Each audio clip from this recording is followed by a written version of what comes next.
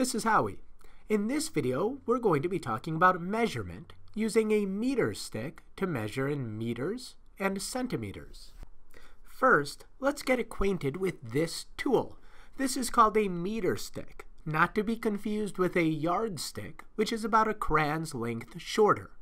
And you can tell it's a meter stick because those numbers running along it begin at 0 and reach all the way up to 100. And those numbers, those are called centimeters. That root word, centi, means hundredth. And just like there are 100 cents in a dollar, there are 100 centimeters in a meter. Now let's start using the meter stick to measure the distance an object travels in meters and centimeters. In the image displayed, a marble is about to be released down the ramp. Let's find out how far it goes.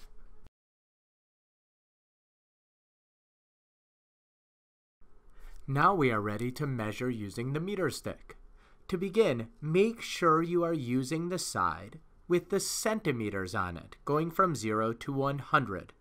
The opposite side may have inches, ending around 39. Next, line the zero of the meter stick up with the starting point of what is being measured. Eh, let's make sure the meter stick is always flat along the ground. If the object being measured is longer than one meter, mark the end of the meter stick with a piece of tape or a sticker and then slide the meter stick down. Repeat as necessary.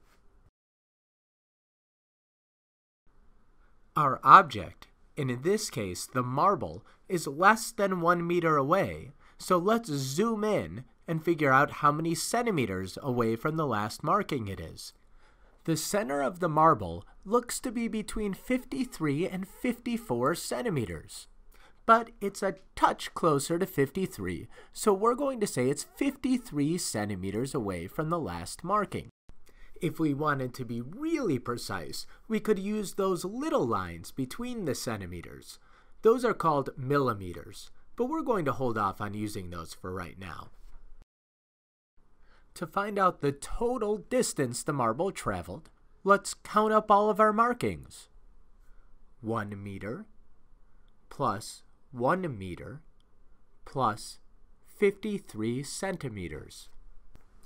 We can write that as 2 meters, 53 centimeters, but you might want to work with only one unit. That will make your life easier when you're doing any sort of computation. Using only the unit centimeters, we could write 253 centimeters. Using only the unit meters, we could write 2.53 meters. If you think about it like money, where you might see $2.53, in this case, it's like 2 meters 53 centis. In both cases, that 0.53 or 53 hundredths means 53 out of 100 parts needed to make a whole. Now it's your turn. Use a meter stick to precisely measure the following items. Pause the video while you complete Task 1 and Task 2, then press play to check your work.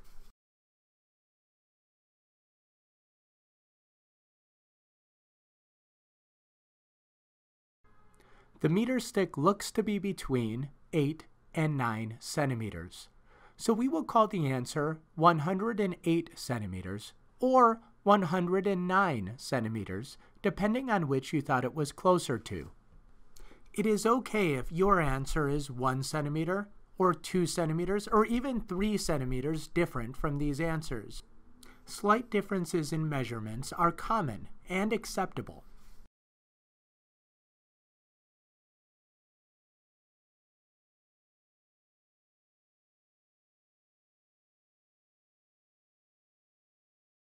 The length of the paper is about 2.24 meters.